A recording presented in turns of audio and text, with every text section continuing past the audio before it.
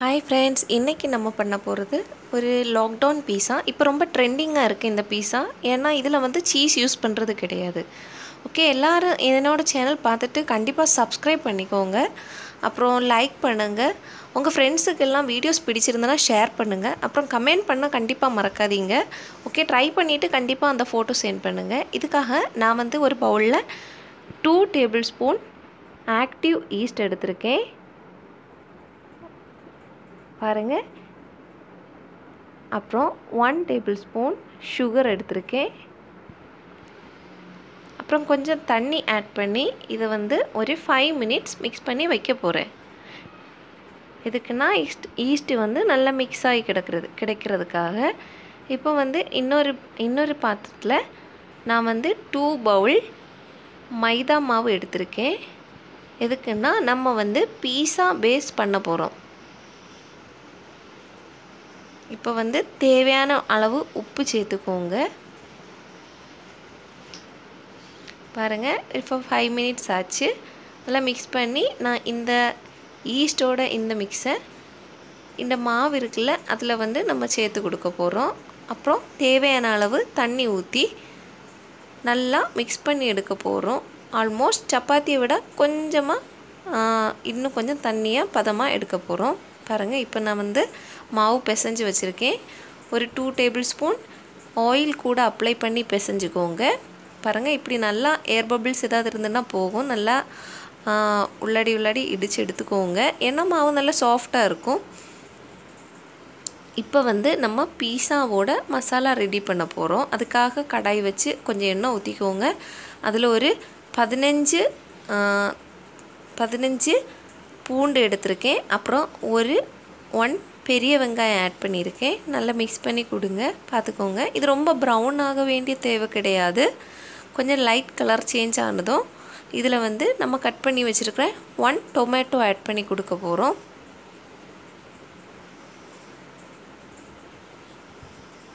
தேவையான அளவு உப்பு சேர்த்து கொடுத்துக்கோங்க. எதுக்குன்னா சீக்கிரமாக வெங்காயம் வதங்கி கிடைக்கும்.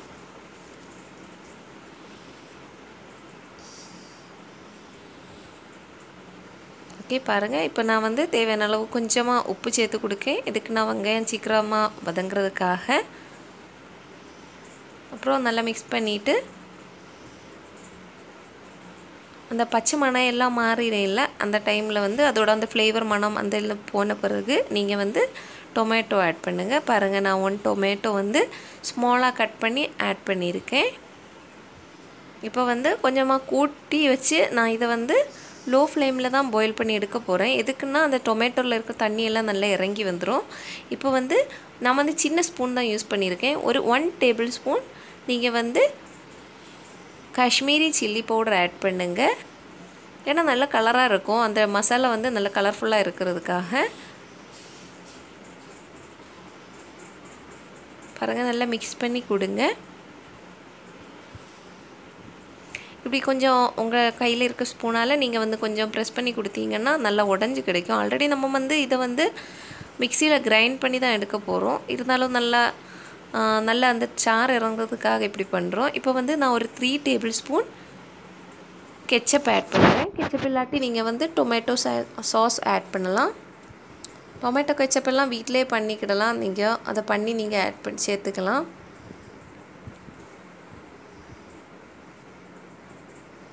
பாருங்கள் இந்த மாதிரி நல்ல எவ்வளோ நல்ல குழஞ்சி வந்திருக்கு பாருங்கள் நல்ல செடியாக நல்ல சாரெல்லாம் இலகி வந்திருக்கு. இப்போ வந்து நான் வந்து இறக்கி இதை ஆற வைக்க போகிறேன் இது ஆறினதுக்கப்புறம் நீங்கள் நம்ம வந்து நல்ல பேஸ்ட்டாக கிரைண்ட் பண்ணி எடுக்க போகிறோம் பாருங்கள் இப்போ நல்லா ஆறி இருக்குது நான் வந்து மிக்சியில் வந்து கிரைண்ட் பண்ணி எடுக்க போகிறேன் நல்ல பேஸ்ட்டாக அரைச்சி எடுத்துக்கோங்க. பாருங்கள் பேஸ்ட்டாக அரைச்சி எடுத்துருக்கேன். நல்லா கலர்ஃபுல்லாக இருக்குது ரொம்ப டேஸ்ட்டாகவும் இருக்கும். இந்த மசாலா. ஓகே இதுக்கு முன்னாடி நான் ஒரு வீடியோ போட்டிருந்தேன். ஏன்னா அதில் வந்து ஒரேகனோ யூஸ் பண்ணலை.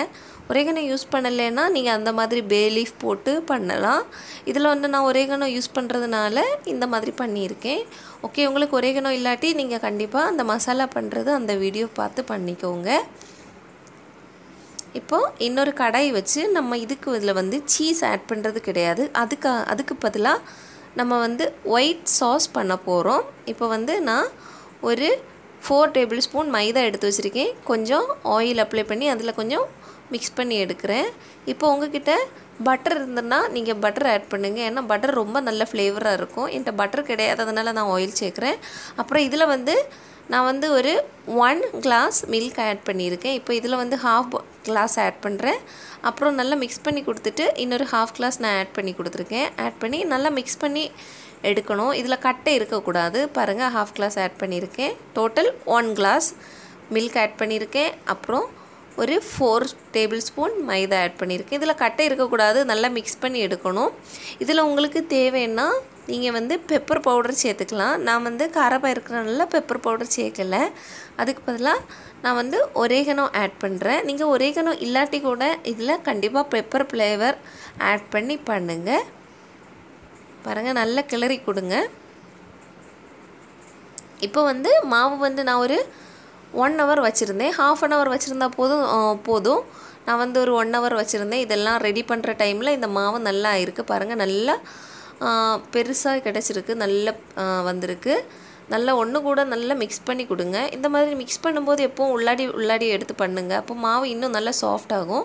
அப்புறம் நம்ம சப்பாத்தி பருத்துறோம் இல்லை அந்த இதில் வச்சு நீங்கள் வந்து சப்பாத்தி மாதிரி நான் வந்து திக்காகவும் பண்ணலாம் பேஸு இல்லை கொஞ்சம் தின்னாகவும் பண்ணலாம். ஏன்னா எல்லா பீஸா ஷாப்லேயும் அது வெரைட்டி நம்ம சேஞ்ச் ஆகும்.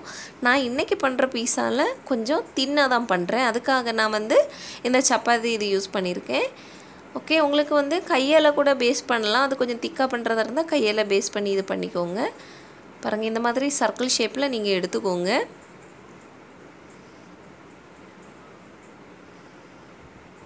பாருங்கள் இந்த மாதிரி பண்ணி கரெக்டாக ஷேப்பில் எடுத்துக்கோங்க. ஷேப்பு வராட்டி கூட பரவாயில்ல நம்ம வீட்டில் பண்ணுறது தான் ஓகே அதுக்காக யாரும் பயப்பட வேண்டாம். கண்டிப்பாக ட்ரை பண்ணுங்கள் பாருங்கள் இது ரொம்ப சுவையாக இருக்கும். அப்புறம் நம்ம வந்து தோசை தவாவில் தான் இதில் பண்ண போகிறோம் தோசை தவாவில் கொஞ்சம் ஆய் ஆயில் அப்ளை பண்ணிக்கோங்க. நீங்கள் எந்த மாதிரி தோசை சுடுறதுக்காக தடவி தடவிங்க இல்லை அந்த மாதிரி நீங்கள் வந்து ஆயில் வந்து தடவி வச்சுக்கோங்க. அதுக்கு மேலே நம்ம இப்போ பண்ணி வச்சுருக்கோம் இல்லை இந்த மைதாவோட இந்த சர்க்கிள் ஷேப் அந்த பேஸ்ட்டை போட்டு எடுத்து வச்சுக்கோங்க. வச்சுட்டு இப்போ நம்ம வந்து சைடில் கொஞ்சம் இப்படி கையால் ஃபிங்கரால் இந்த மாதிரி நீங்கள் வந்து சர்க்கிள் ஷேப்பில் இது பண்ணி கொடுத்துக்கோங்க. பாருங்கள் இந்த மாதிரி. அப்புறம் உங்ககிட்ட ஃபோர்க் இருந்துன்னா ஃபோக்கால் நீங்கள் வந்து இந்த மாதிரி ஹோல் போட்டு விடுங்க. பாருங்கள் ஃபோக் இல்லைன்னா நீங்கள் வந்து உங்கள் பப்படம் பப்படம் சுட்டுட்டு நம்ம எடுப்போம்ல. அந்த இது வச்சு கூட நீங்கள் குத்தி இது பண்ணிக்கலாம். இந்த மாதிரி ஹோல் போட்டு விடலாம். ஓகே பாருங்கள் இப்போ வந்து நம்ம ரெடி பண்ணி வச்சுருக்க மசாலா எல்லாம் அப்ளை பண்ண போகிறோம்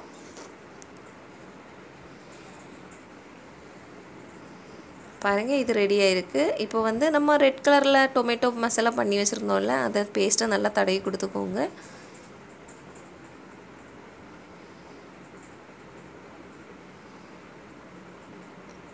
இந்த மாதிரி நல்லா அப்ளை பண்ணி கொடுங்க. நான் இதில் வந்து ரெண்டு மெத்தட் உங்களுக்கு காமிக்கிறேன். ஒன்று சீஸ் போட்டு இன்னொன்று சீஸ் போடாமல் ஓகே உங்கள்கிட்ட சீஸ் இருந்ததுன்னா நீங்கள் போடலாம். இல்லாட்டி கூட பண்ணலாம். ஏன்னா சேம் டேஸ்ட்டு தான் கிடச்சிருக்கு. நான் இங்கே ட்ரை பண்ணி பார்த்ததில் பிள்ளைங்கள்லாம் சொன்னாங்க சேமாக தான் இருக்குது ரொம்ப டேஸ்ட்டாக தான் இருந்துன்னு சொன்னாங்க. ஓகே நீங்கள் அதை ட்ரை பண்ணுங்கள் பாருங்கள் இந்த மாதிரி பண்ணுங்கள்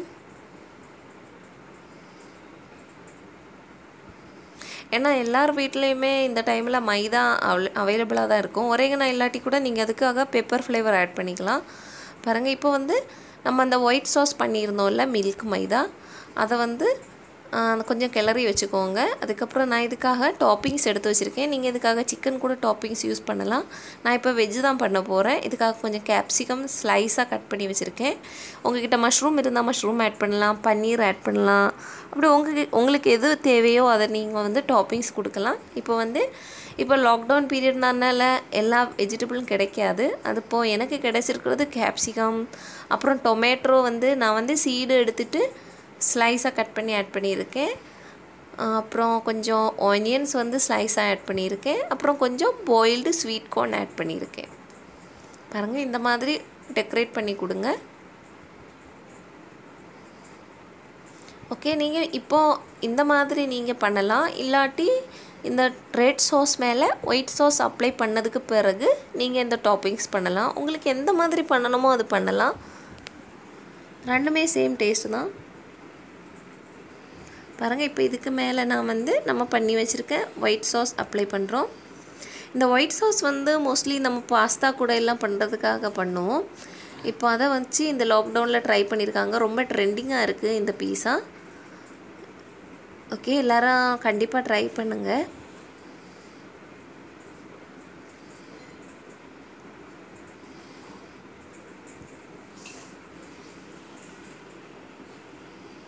பாருங்கள் இந்த மாதிரி அப்ளை பண்ணிவிட்டு அப்புறம் சில்லி ஃப்ளேக்ஸ் போட்டுக்கோங்க. சில்லி ஃப்ளேக்ஸ்னால் உங்ககிட்ட வத்த மிளகா இருந்ததுன்னா அதை நீங்கள் ஜஸ்ட் ஒன்று மிக்சியில் க்ர க்ரஷ் பண்ணி எடுத்தீங்கன்னா இந்த மாதிரி சில்லி ஃப்ளேக்ஸ் கிடைக்கும். சில்லி ஃப்ளேக்ஸ் போட்டுக்கோங்க. அப்புறம் நான் வந்து என்கிட்ட ஒரேகனம் இருக்கிறதுனால ஒரேகனம் போடுறேன். உங்ககிட்ட இல்லைன்னா நீங்கள் லைட்டாக ஒரு பெப்பரோட பவுடர் வந்து ஆட் பண்ணி கொடுங்க. அது இல்லாட்டி கூட பரவாயில்ல. ஆனால் ஆட் பண்ணி கொடுத்தா கொஞ்சம் ஃப்ளேவராக இருக்கும். ஓகே அந்த பீஸாவோட கரெக்டு ஃப்ளேவர் கிடைக்கிறதுக்காக தான் நம்ம ஒரேகனம் ஆட் பண்ணுறோம் ஓகே அது இல்லாட்டி கூட பரவாயில்ல டேஸ்ட்டாக தான் இருக்கும். இப்போ வந்து தவா வந்து நான் அடுப் கேஸில் வச்சு ரொம்ப சிம்மில் தான் நான் இதை வந்து ஒரு eight to ten minutes boil பண்ணி எடுக்க போகிறேன் அடைச்சி வச்சுக்கோங்க. பாருங்கள் இந்த மாதிரி அடைச்சி வச்சு நீங்கள் வந்து பாருங்கள் இப்போ இதாக இருக்குது நீங்கள் வேணால் குத்தி பார்க்கலாம். உங்கள் உள்ளாடி உள்ள மாவெல்லாம் இதாக இருக்கான்னு பாருங்கள் நல்ல இதாக இருக்கு வெந்திருக்கு. இப்போ நீங்கள் வந்து பிளேட்டில் எடுத்து ஷிப் பண்ணி கட் பண்ணி சாப்பிடலாம். ஓகே ரொம்ப சுவையாக இருக்கும். இன்னொரு மெத்தேடு நான் கா காமிக்க போகிறேன் நீங்கள் லாஸ்ட் வரை பாருங்கள் பாருங்கள் என்னோடய ஒரு பீஸாக ரெடி ஆகிருக்கு இது வந்து வித்தவுட் சீஸு இன்னொன்று நான் வந்து சீஸ் வச்சு பண்ண போகிறேன் பாருங்கள் இந்த மாதிரி ஒரு பேஸ் பண்ணி அதுக்கு மேலே ரெட்டு சாஸ் பண்ணிவிட்டு அப்புறம் ஒரு ஸ்லி ரெண்டு சீஸ் ஸ்லைஸ் ஆட் பண்ணியிருக்கேன் மொசல்ல சீஸ் இருந்ததுன்னா அது கூட துருவி போடலாம். அதுக்கு மேலே இந்த ஒயிட் சாஸ் நீங்கள் இதுக்கு மேலே கூட இது கூட கூட இந்த ஒயிட் சாஸ் அப்ளை பண்ணலாம். ரொம்ப சுவையாக இருக்கும். இந்த மாதிரி ஒயிட் சாஸ் அப்ளை பண்ணி அதுக்கு மேலே நான் வந்து டாப்பிங்ஸ் அப்ளை பண்ணுறேன் பாருங்கள் இதுக்கு முன்னாடி நான் காமிச்சே இல்லை. அதில் கூட நீங்கள் வந்து ஒயிட் சாஸ் போட்டதுக்கு மேலே அதுக்கு மேலே கூட நீங்கள் டாப்பிங்ஸ் வைக்கலாம். உங்களுக்கு எந்த மாதிரி பிடிக்குமோ அந்த மாதிரி நீங்கள் பண்ணிக்கலாம். இப்போ வந்து நான் வந்து என்கிட்ட இருக்கிற கொஞ்சம் கேப்சிகம் அப்புறம் ஸ்வீட் கார்ன் பாயில் அப்புறம் ஆனியன் அப்புறம் சீடு இல்லாமல் டொமேட்டோ ஸ்லைஸாக கட் பண்ணியிருக்கேன். இதெல்லாம் ஆட் பண்ணுறேன்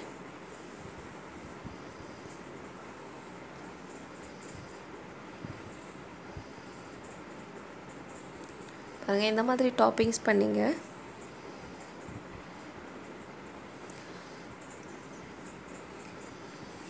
நீங்கள் இந்த மாதிரி வீட்டிலே பண்ணுறதா இருந்தால் உங்களுக்கு வெளியே பீஸா வாங்கி சாப்பிட நின்னே தோணாது. ஏன்னா அந்தளவு டேஸ்ட்டாக இருக்கும். சீஸ் கூட கிடச்சி கிடச்சுன்னா ரொம்ப டேஸ்ட்டாக இருக்கும். ஓகே நீங்கள் அப்புறம் இது வீட்டில் நீங்கள் ஒரு ஒன் டைம் ட்ரை பண்ணிங்கன்னா அப்புறம் உங்களுக்கு வெளியே இருந்து வாங்கி சாப்பிடணும்னே தோணாது. ஏன்னா சேம் டேஸ்ட் தான் கிடைக்கும். நீங்கள் வெளியே வாங்குற அதே சேம் டேஸ்ட்டு இந்த சீஸ் ஒரேகனோ எல்லாமே ஆட் பண்ணி பண்ணிங்கன்னா சேம் டேஸ்ட் கிடைக்கும்.